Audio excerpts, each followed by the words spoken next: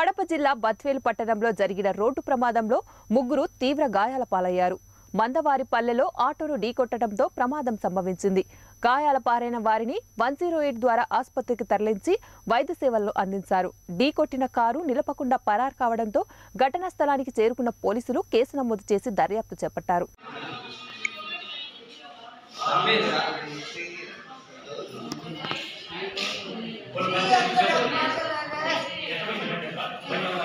भैया वन माने